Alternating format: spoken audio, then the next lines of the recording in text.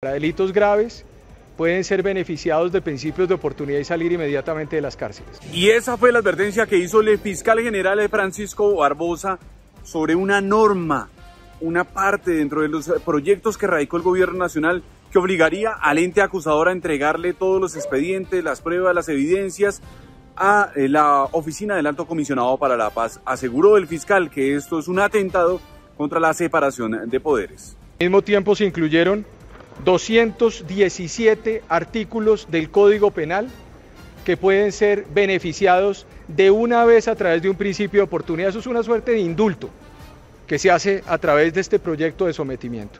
Y yo creo, vuelvo y repito, que estos debates yo los voy a plantear al país. Ya recibimos el proyecto, nos vemos en el Congreso.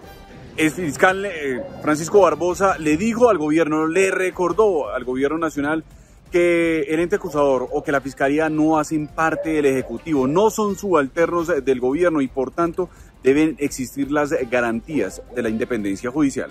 Vamos a, discutir democráticamente cada de esos puntos, pero yo sí le solicito al gobierno, en el marco de la democracia, en el marco de la preocupación de estos temas, que reconsidere la posibilidad de enviar mensajes de urgencia para no convertir los debates en unos debates rápidos porque este país requiere discusión democrática, deliberación.